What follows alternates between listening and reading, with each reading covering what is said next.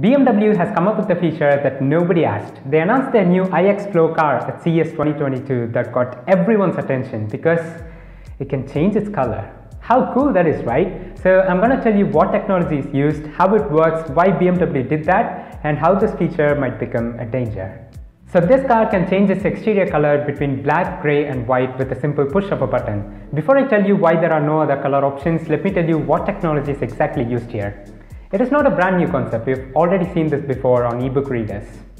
You get it, electronic ink. That is what exactly BMW has used here. So the e-ink uses a simple science that we have all studied in school days, electric charge. You know there are two types of charges, positive and negative, and they work similar to magnets, that is like charges repel each other and unlike charges attract each other.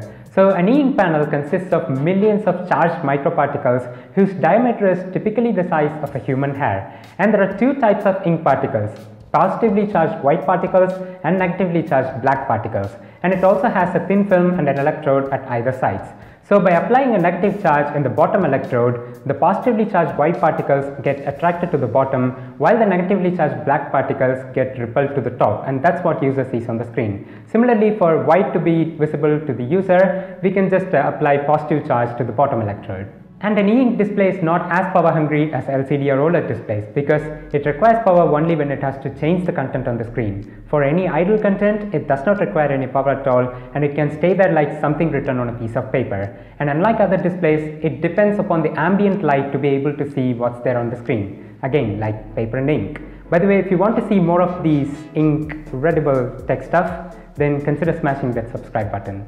Anyways, why did BMW even bother about bringing this feature? The answer to this is customization. I mean, come on, who doesn't love to customize their belongings? But it has other benefits too.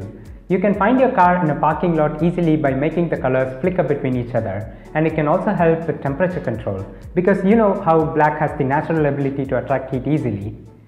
Oh, I'm wearing a black shirt. Kinda sweating. Imagine that you're stuck in traffic on a hot day, then you can change the color of the car to white to prevent the vehicle from heating up too much. Similarly, you can use the color black to preserve some heat during freezing winters. It has no other color options because e-ink generally has only black and white microcapsules. And there are some colored e-ink displays that use an extra RGB filter on the top of these black and white microparticles to produce colors. While a typical 10-bit LCD or OLED display can produce like 1 billion colors, an 8-bit display can produce like 16 million, an e-ink display can produce only up to like 4096 colors, which are not too vibrant. And because the colors they produce are too dull, when BMW use colors in these vehicles, then the cars will look like they were stolen halfway through the paint job.